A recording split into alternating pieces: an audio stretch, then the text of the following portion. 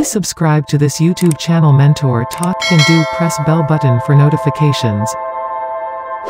As per reports, since 5th May 2020, Chinese and Indian troops have been engaged in aggressive actions, face-offs and scuffles at locations along the India-China border.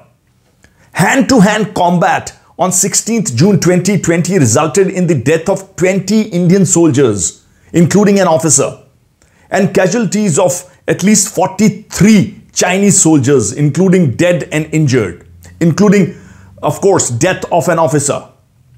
China acknowledged casualties on both sides, though it did not release any numbers, and further accused Indian troops of crossing the line of actual control.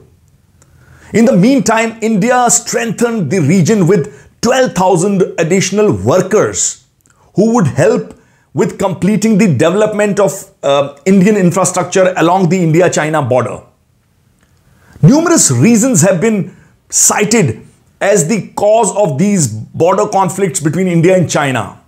MIT professor Taylor Fravel said that this was a response from China to the development of Indian infrastructure in Ladakh, particularly the Darbuk Shyok DBO road.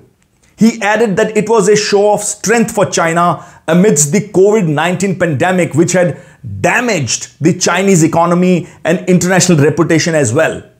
Whereas Wang Shida of China Institute of Contemporary International Relations connected the current border tensions to India's decision to abrogate Article 370 and change the status of Jammu and Kashmir.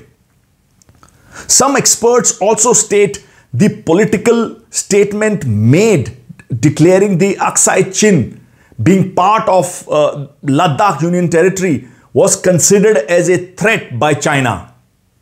India diplomat Gautam uh, uh, Bambawale opines that New Delhi's moves in 2019 related to Jammu and Kashmir rankled Beijing.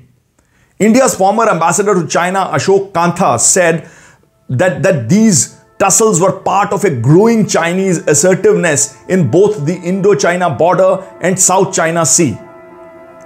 Indian diplomat Phunchok Stobdan pointed to the occurrence of a larger strategic shift and that India should be alert.